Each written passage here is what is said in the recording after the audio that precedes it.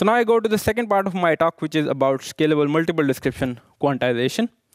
In the start of my presentation, I have shown uh, this uh, slide, this uh, small description of MDC, but I did not explain how the descriptions were actually created.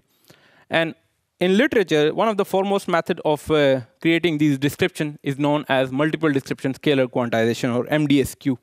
And MDSQ consists of two coarse quantizers, Q1 and Q2, which reconstruct the signal at distortion D1 and D2. These are the side quantizer. And they induce a fine central quantizer, Q0, which reconstruct the signal at a distortion D0. Now, how the descriptions are created, we take our original signal and we quantize it with Q1, and we produce an acceptable quality uh, reconstruction. Again, we take the signal and, and quantize it with Q2, and we, again, another acceptable quality description. And since these are mutually refinable and they can refine to reach this Q naught, we can combine these two descriptions or indices coming from these two quantizers to, quant to uh, do inverse quantization with our Q naught, the central quantizer, and we can produce the uh, high uh, quality uh, joint reconstruction. Yeah. Here in this slide, I would like you to look at MDSQ from a different perspective. Here I have shown the partition cells, uh, which I showed uh, in the last uh, slide. And actually, you can view MDSQ uh, as uh, this central quantizer uh, together. you can view MDSQ with Q naught and the associated index assignment matrix. And in this case, index assignment matrix is shown in here, where it has 11 entries, which are actually the 11 entries of this Q0 quantizer. They are arranged along the two diagonals of this index assignment matrix in such a fashion that the quantization cells of Q1 are actually the union of quantization cells of Q0 along the rows of this index assignment matrix. You see? Again, this is the third cell. And the quantization cell of Q2 are actually the union of quantization cell of Q0, but along the columns of this index assignment matrix. Yeah, again. Here I have shown another example where there are three diagonals, and the now the central uh, entries are 16. So our central quantizer is much more finer, see, compared to there where uh, you have 11 uh, cells. And you see that here the D naught or the reconstruction of Q naught actually is uh, has is a better reconstruction though, so the distortion is reduced. However, we see that the Q1 and Q2 here and Q1 and Q2 here, they have same number of cells, six in every case. You see, so the total rate, which is the sum of the rate from two uh, side description, is exactly the same in uh, two descriptions. But we have now a finer central reconstruction. But this fine reconstruction is not uh, free of cost. It comes at the cost of increasing the side distortion, and and the Q1 and Q2 here has higher distortion than Q1 and Q2 here because now you, although you have same number of cells, but you have disjoint cells. Huh? You see, cells are disjoint.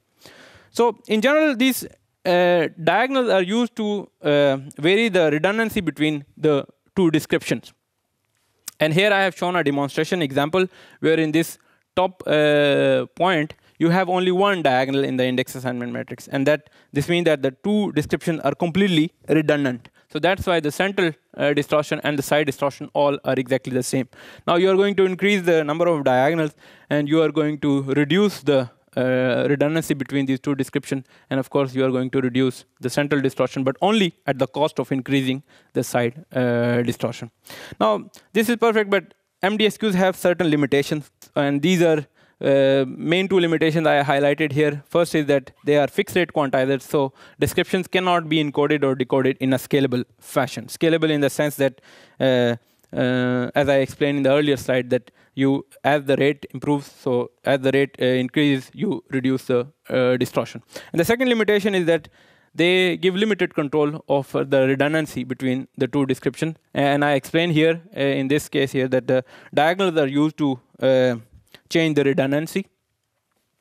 And the total number of redundancy points are only limited to the total number of uh, uh, potential uh, diagonals that you can use here in this index assignment uh, matrix. So what is the solution? The solution is go to the scalable extension of uh, these MDSQs, known as scalable MDSQs. Now this word scalable suggests that we need to have embedded quantizations as, as the one uh, I have explained right in the start of my presentation. But here it is more challenging because we have three quantizers we have two side quantizers, and we have a central quantizer, and all of them need to be embedded. So this embeddedness can be incorporated by doing this, the splitting of this index assignment matrix in an embedded fashion. And here I have shown an example, and this is the first level of splitting, which create two cells of two side quantizers and the three cells of the central quantizer. And if we keep these thresholds intact, and we do a further level of splitting, uh, embedded splitting, we can go to one uh, more finer level. We could have uh, increased the number of levels if we would have started from a bigger index assignment matrix, but that's, that's just uh, intuitive.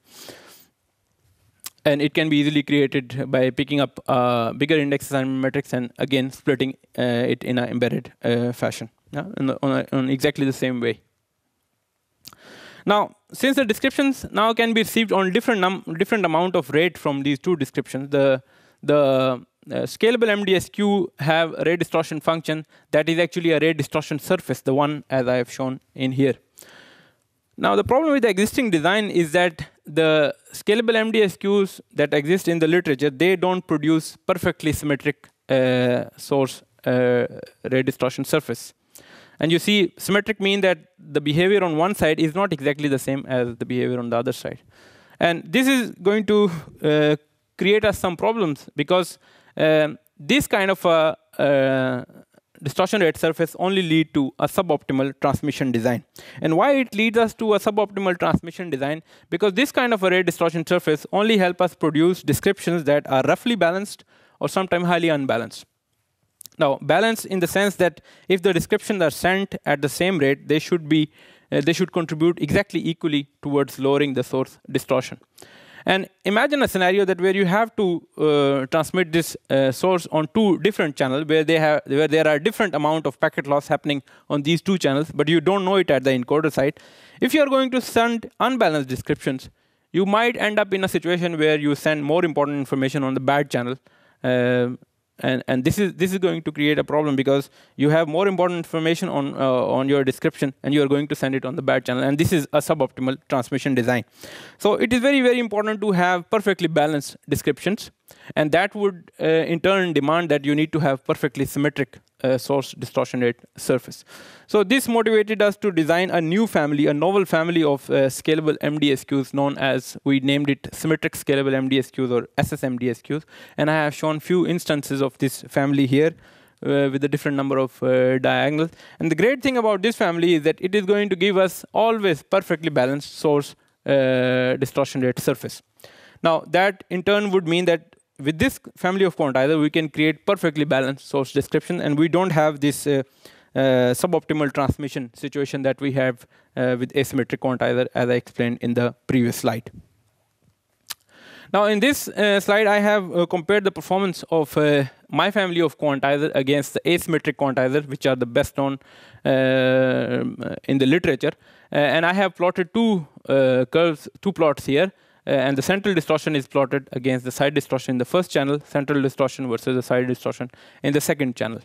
And green one is the proposed family of quantizers that uh, we propose, and the red one are the asymmetric quantizers best known in the literature.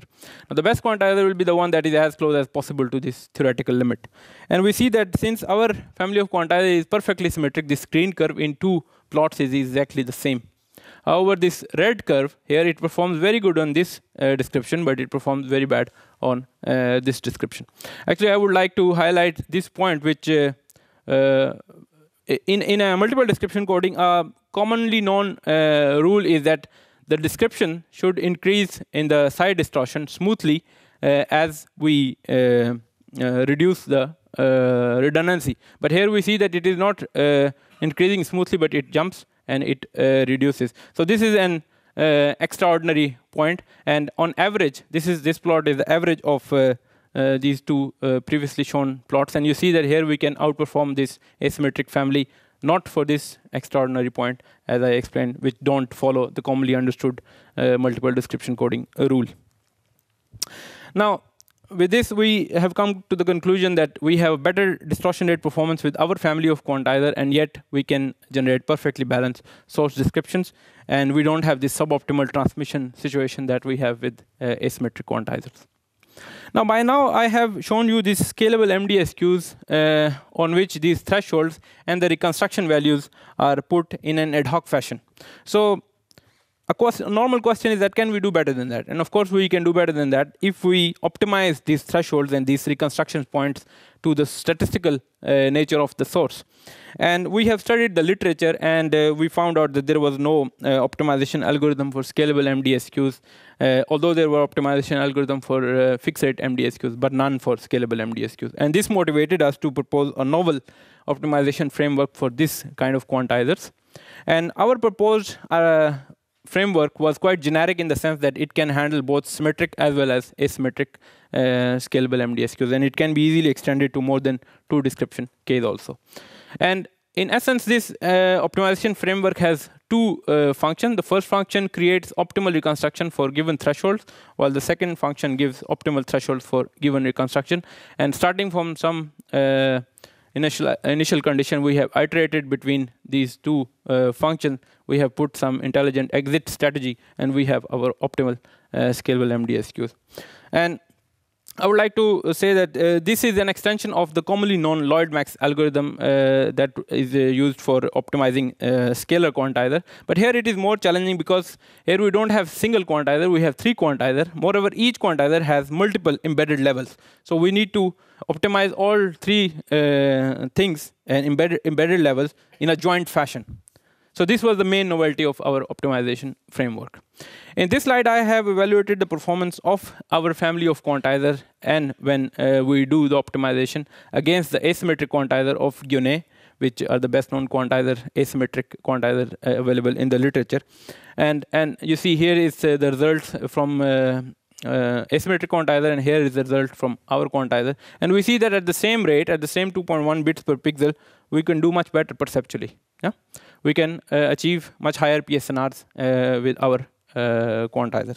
And we have carried out uh, the packet-based transmission of uh, this Lena-coded image for uh, packet loss channels, and I have shown the results here. The first row is the results of the asymmetric quantizer, uh, of Guionnet. The second row is a quantizer that we propose, but without any optimization incorporated. And the third row is uh, our family of quantizer, but with optimization.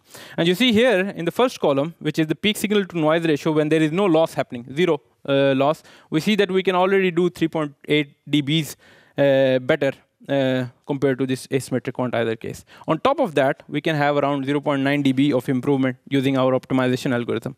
And now, if we carry out the transmission and the packet loss rate increases, you see that uh, in this case, the quality degrades. This is normal because now we are lo losing a lot of data in our uh, channel.